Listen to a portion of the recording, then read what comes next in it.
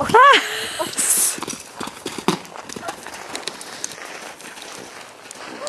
Alltså.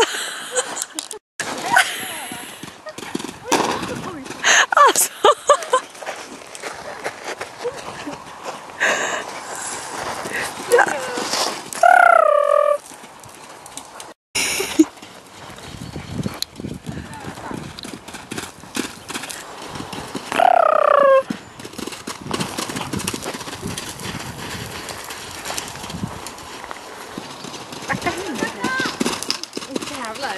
Han är ju högt över 4000.